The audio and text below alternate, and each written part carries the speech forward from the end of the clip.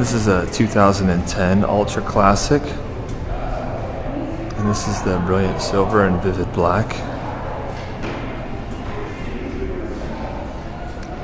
This bike is factory stock